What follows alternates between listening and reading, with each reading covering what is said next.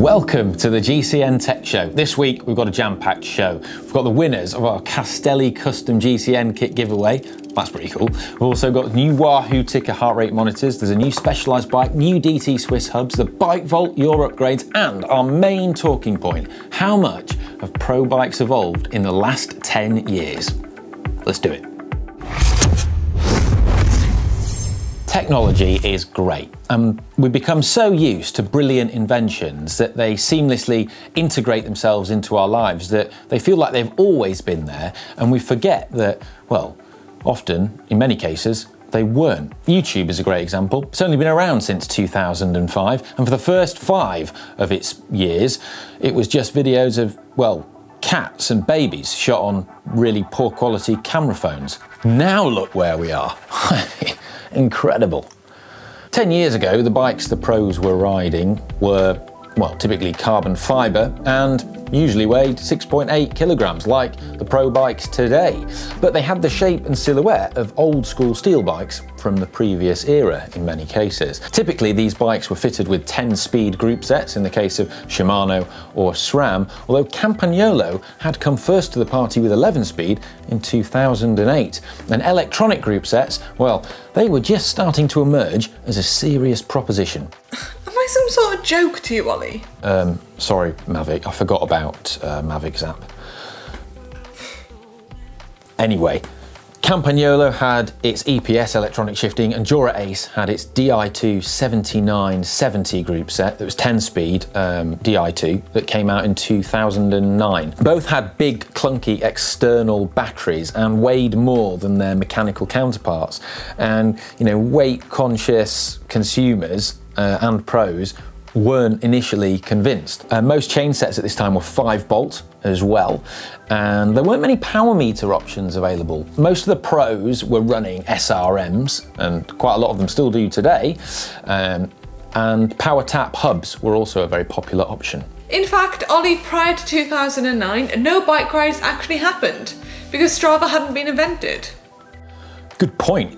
I mean, what, GPS wasn't even widely used in 2010. Most pros didn't even have it. But uh, I do know of one pro who, who did have it and uh, kept all of his ride files. He, I mean, he's really geeky, and then retrospectively uploaded them years later and got loads of KOMs through sitting and drafting in a peloton of other pros who didn't have GPS.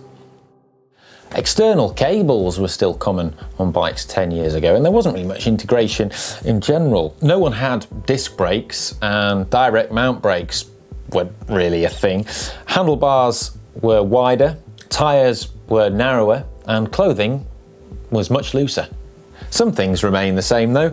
Uh, many saddles, such as the Fizik Arione on my bike, is relatively unchanged in its design in the last 10 years pedals, uh, like Look Keo blades, you know, save for a few tweaks, are very similar, and bottles and cages are pretty much the same as well. Dura Ace 9000 came out in 2012, and with it, we got 11 speed shifting, 4 bolt crank arms, and, well, for the first time, electronic shifting that was lighter than mechanical.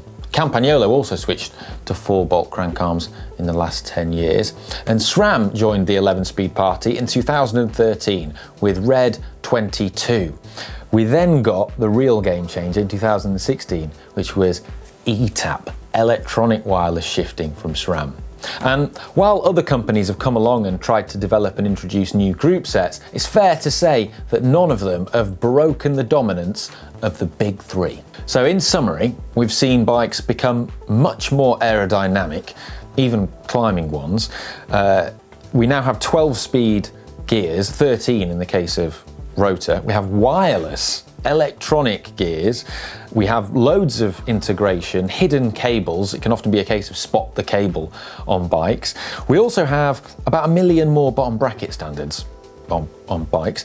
And in several cases, we have bikes that feature all of this tech, yet they still weigh 6.8 kilograms, the same as bikes 10 years ago. So bikes may not have got lighter, but they now contain way more functionality at the same weight.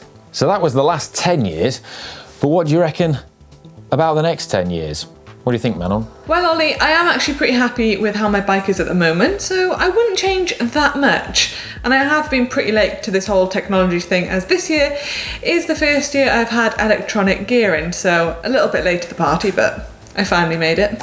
But one thing I would like to see is a drive train that cleans itself or doesn't get dirty doesn't get dirty, that would be a good one because there's nothing worse than, especially when you're riding in the winter, you have to clean and degrease and regrease your chain every time you go out on the bike, especially when you live in the UK and it's it's raining quite a lot of the time and riding on muddy roads. So that would be pretty cool.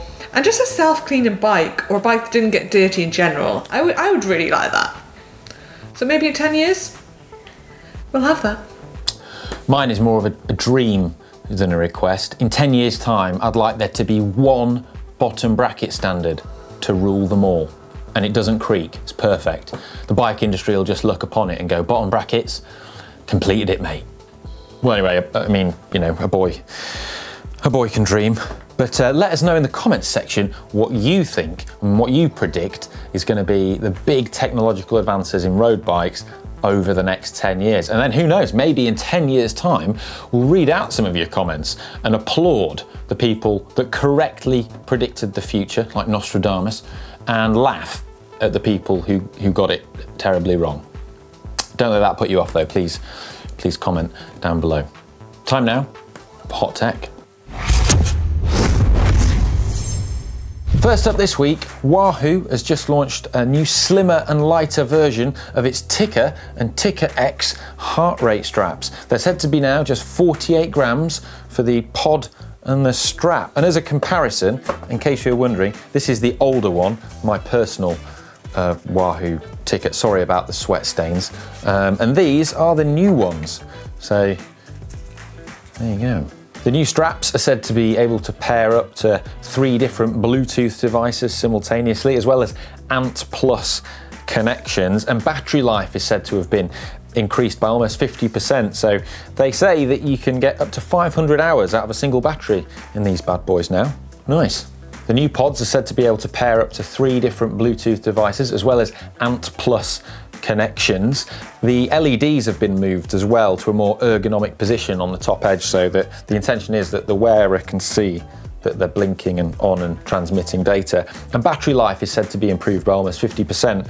They uh, claim that you can now get up to 500 hours out of a single battery. Nice. And in case you're wondering what is the difference between the TICKR and the TICKR X? Well, it's simple. It's just that the TICKR X is able to transmit and calculate cadence as you ride without the need for a cadence sensor. Pretty cool. Next, we have a new bike. Specialized has just launched today a new version of its Diverge gravel bike, complete with pictures of Peter Sagan riding it and shredding gravel. For me, it's a very nice bike. The new Diverge has the Future Shock suspension system in the headset that's come from the specialised Roubaix. It also has a really interesting and very thin chainstay on the drive side, and this is in part to help improve tyre clearance uh, on the new bike, which is whopping. It's up to 47 millimetres, according to Spesh. And there's also a generous storage compartment in the down tube called a, a SWAT compartment. And this kind of integrated storage is a really neat idea, and it's something that's actually coming over from mountain bike tech. It's actually something I think we'll start to see a lot more of in, in future bikes. Cool. Some new hub tech now. DT Swiss has just launched a new version of its 240 hub. Now, the 240 hub is a kind of an industry stalwart, famed for its reliability and simplicity. And its mechanism works by way of these sort of two ratchet rings that are pushed together by conical springs and then locked together. And this mechanism is simple, reliable, and well, it can it can actually handle pretty high force loads on it as well. These two ratchet rings are actually from my spares box. Um, and this gets quite nerdy, but I, I, I like the engineering here. So what they've now done on the new mechanism, they still have two ratchet rings, but one of them is now fixed inside the hub shell, and the other one is then allowed to move freely along the axle by way of a spring and then lock and engage. And in doing this, DT Swiss um, has reduced the number of components in the hub. They've simplified it, which they believe should make it more reliable. There's fewer components, should also make it lighter. Um, and they also reckon it reduces wear and has slightly reduced the time it takes to engage as well on the pickup on the hub. This design allows the bearings to be spaced further apart on the hub axle as well, which should reduce load on those bearings and in theory make them last longer. And it can also apparently, according to DT Swiss, make the axle of the hub body a bit more stiff as well. And this is cool, some neat engineering solutions here, uh, which I like. And it's also has big implications for a lot of us because DT Swiss are massive when it comes to making hubs for other brands. Um, and so a lot of brands use their, their hubs or they use the internals from their hubs. But yeah, some cool, geeky, nerdy tech. I like it. We end hot tech news this week with the exciting development that you can now get CeramicSpeed oversized pulley wheel systems for free. Yes, one of the most bling pieces of bike jewellery available to humanity is now free. Free? Yeah, in Zwift. Oh. Oh. Still, I mean, it's pretty cool though, right? Uh, to get it, you will have to complete the CeramicSpeed mission in Zwift, which um, involves riding in the month of May, and you have to ride three different types of bikes. So 25 miles on a mountain bike, 50 miles on a time trial bike, and 75 miles on a road bike. Um, how many watts does it save in game? Um, well, they haven't said, but still, looks good though, doesn't it? More hot tech next week. We're now going to announce the winners of our GCN custom Castelli kit giveaway. One of the greatest prizes ever. Each winner is going to get a pair of shorts, a jersey, and a custom GCN Gabba. Amazing, like that one. And I know right now, Si Richardson is at home crossing his fingers, crossing everything in the hope that he is one of the names I'm about to read out because he still hasn't got his kit yet. Anyway, the winners are as follows. Pavel Mili from Slovakia, uh, Fiona Miller from Great Britain, and Marvin Plogsteis from uh, Germany. I hope I've read that out correctly, Marvin, but uh, well done. You've got yourself a Gabba, shorts, and jersey. Hope you enjoy the kit, guys. Well done. And if you didn't win, fear not, Si, you can get the kit pre ordered in the GCN shop, shop.global cycling network. Chin up. Now it's time for Screw Around Upgrades by Upgrades, where you send in pictures and upgrades that you've made to your bikes and cycling lives for the chance to win the ultimate prize, a GCN cap. Before we go on to this week, let's go through last week's results. If you remember, we had Paul's GCN themed bike, and this was a pretty good upgrade because it was obviously GCN themed. And we had Brett Harding's son's repainted bike, and it was a nail biting finish. It was super, super, super close. With 53%, it was Brett Harding's son repainted bike.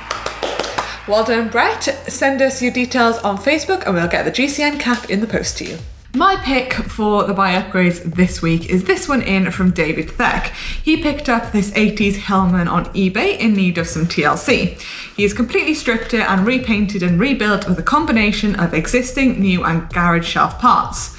The final build is a Reynolds 653 frame, hand built in Melbourne, pretty cool, with mid 2000 Shimano 105 derailleur and wheels, 8 speed cassette and down tube shifters. Build comes in at just over 9 kilos. Love, the, love the look and the fact it can hold its own on the road with modern bikes.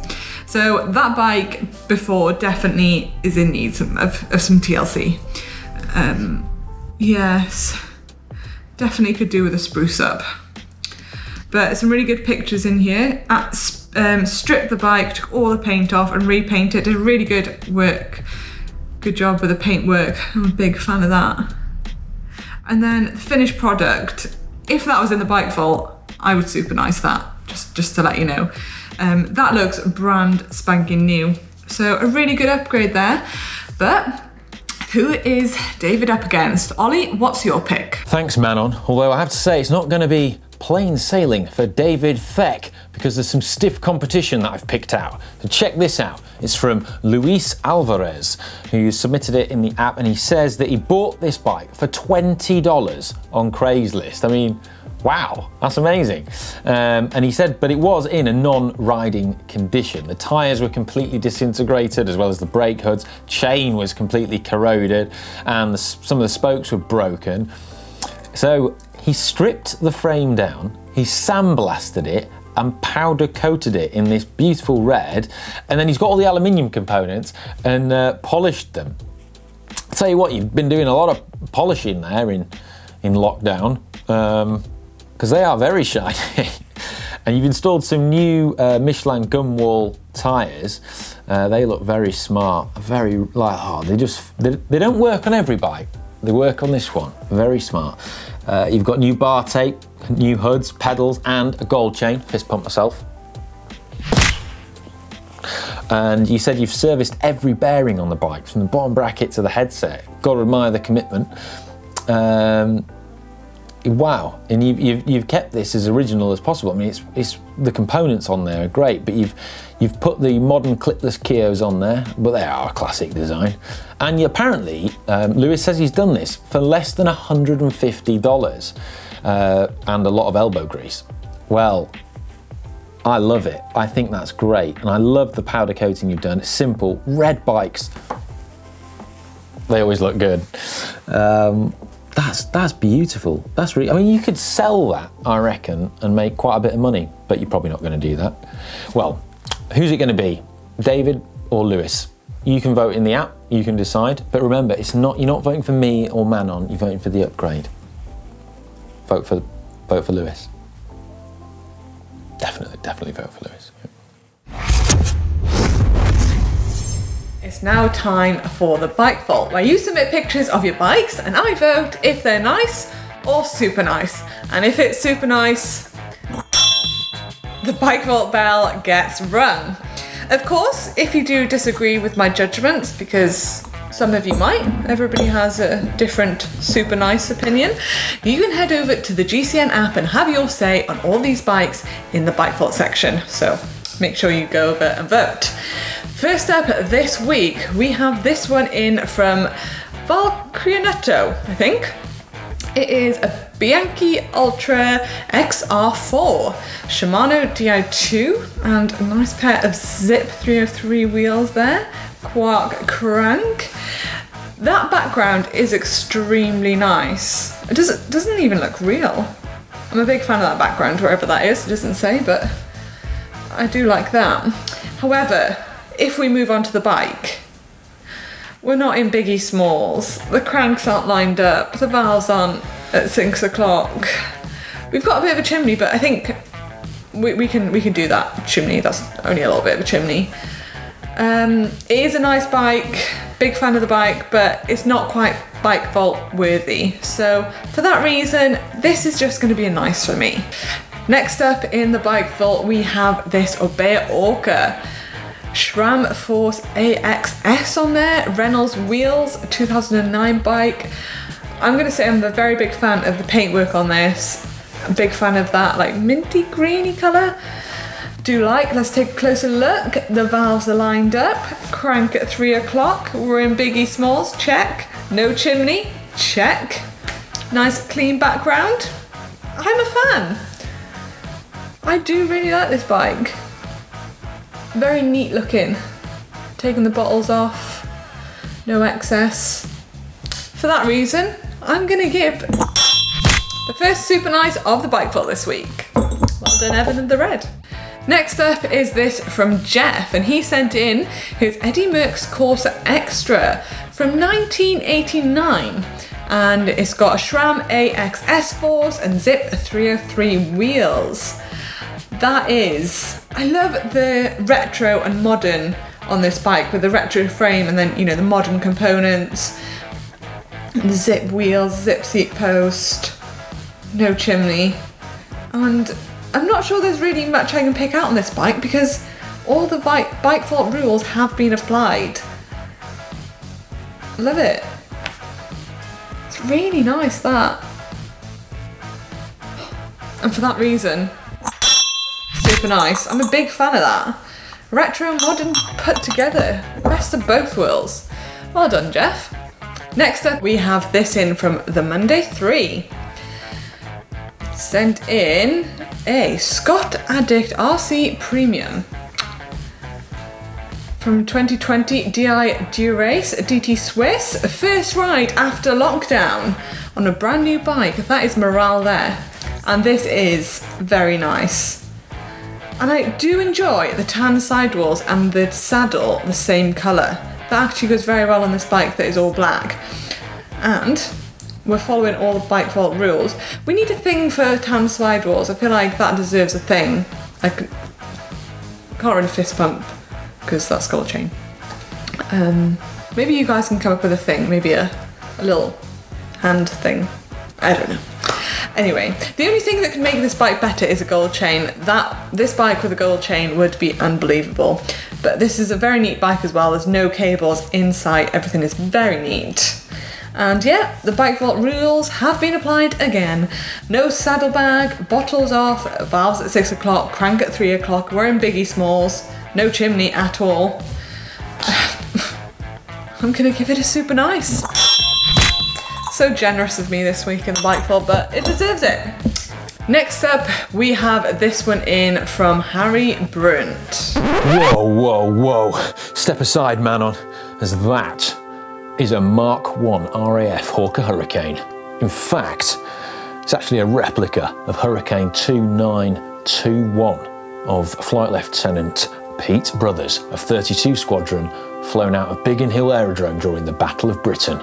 Oh, yes, and let me tell you, you have not lived until you have heard the sound, the roar of a Rolls Royce Merlin engine flying overhead, all 1,460 horsepower.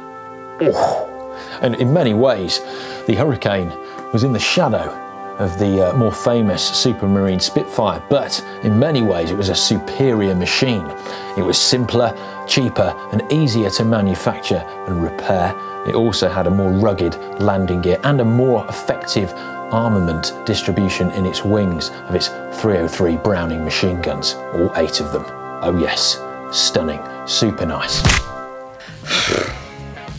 Anyway, that's it for the bike vault this week. Remember, you can head over to the GCN app and have your say on all these bikes and if they're a nice or a super nice. And even some of our presenters have uploaded their bikes, so you can have your say on their bikes if they're a nice or a super nice. Mine's a super nice, of course. And if you want your bike on the bike vault next week, get it uploaded to the GCN app. That's all we've got time for on this week's show. So sorry it's the end of the show, but if you've enjoyed it, then please give it a like, uh, share, and comment, and all that jazz. And if you'd like to support the channel, well, you can head over to shop.global cycling network, get your hands on some merch, GCN mug, and pre-order the new kit if you like it and you're unlucky enough not to win. I know Si will be placing his pre-order.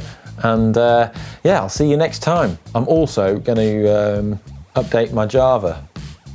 how, long, how long has that message been there? Oh, Am I some sort of joke to you, Ollie? No, that's two. Am I some sort of joke to you, Ollie? One more. Am I some sort of joke to you, Ollie? Oh. Oh. Oh, Ness.